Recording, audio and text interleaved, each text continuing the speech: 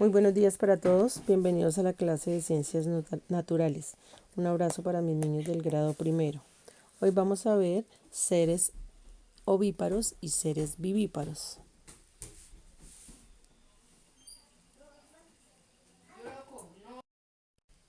Los animales ovíparos. Los animales ovíparos nacen por medio de huevos.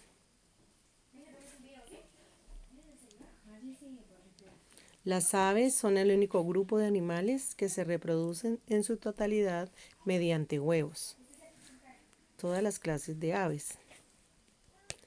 La mayoría de las especies de reptiles se reproducen por medio de huevos. Los peces nacen de un huevo, su gestación se realiza fuera del cuerpo de los padres.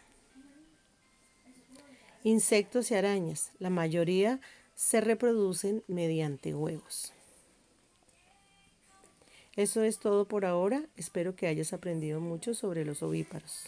A continuación veremos los vivíparos.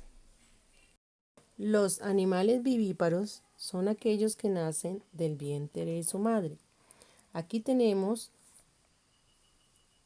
el ser humano y el elefante como ejemplos. Vamos a aprender.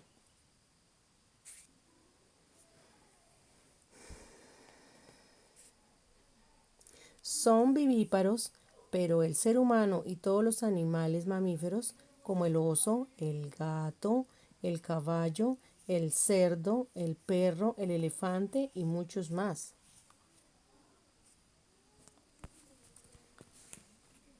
Las crías de los animales vivíparos se alimentan de leche de la madre. Aquí ponemos un ejemplo. Aquí otro. La mayoría de vivíparos son cuadrúpedos, es decir, se mueven mediante cuatro patas.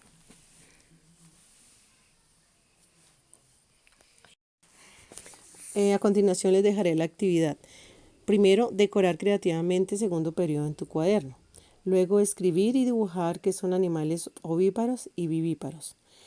Tienen que realizar las actividades del libro página 138, que es acerca de los seres inertes artificiales y seres inertes naturales.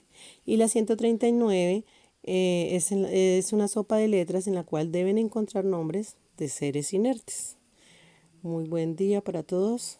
Éxitos.